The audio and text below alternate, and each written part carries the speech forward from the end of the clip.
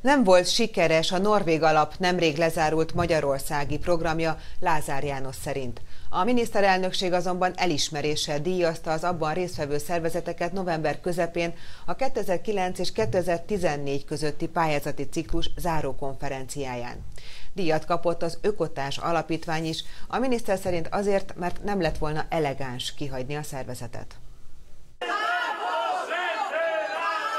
2014. szeptemberében razziáztak a rendőrök az Ökotás Alapítvány irodájában. A Norvég civil alap pénzeit felügyelő civil szervezettel szemben a kormány szinte minden eszközt bevetett.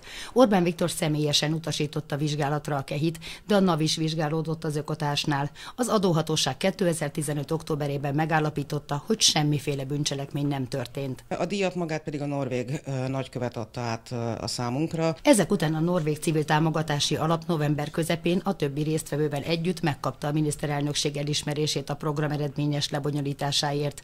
A díjat a lebonyolító alapítványok képviseletében Móra Veronika vette át. Ezt ott helyben tudtuk meg, és azt gondoljuk, hogy a Norvég Civil Támogatási Alap az elmúlt négy évben egy nagyon sikeres program volt, amelynek keretében több mint 400 civil szervezet tevékenységét, projektjeit tudtuk támogatni.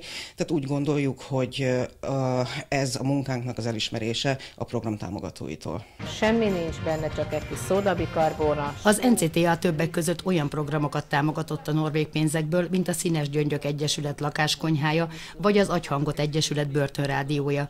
A novemberi zárókonferencián a miniszterelnökség főosztályvezetője ezekről az eredményekről is elismerően beszélt. A programot egészében nem tartom sikeresnek. Lázár János az elismerésről azt mondta, nem lett volna elegáns, ha az ökotás nem kapja meg azt a plecsnit, amelyet a többi a programban résztvevő szervezet megkapott. Hogy nézne az ki, hogy tucatnyi ember, aki részt vett a programban, az kap valamiféle jelképes elismerését annak, hogy a programban részt vett, és akkor egy valakit ebből kihagyjunk. Hát az, hogy ő hogyan dolgozott, annak a megítélése már vita kérdése.